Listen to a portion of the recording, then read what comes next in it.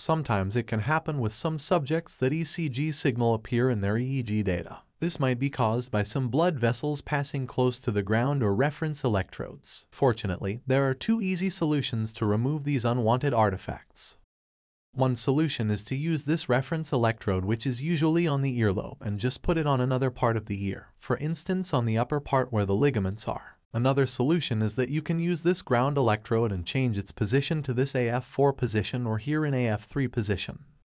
You should make sure not to pull the wires like this, or never pull the electrodes here at the connecting point. You should also make sure not to twist the wires around your fingers. Always place your fingers on the side of the electrodes. Hold your fingers here at the electrode holder ring to protect it from any unwanted force that might break it. And then after that you can easily remove the electrode like this. You can remove the ground label so you can later put it in another position. Now you can go to the position next to it, for example AF4. Put the ground label on this new position.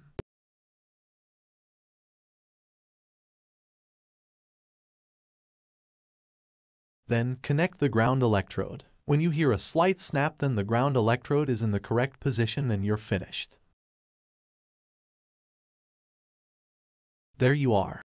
Here in the green area you can see the EEG data without any ECG artifacts.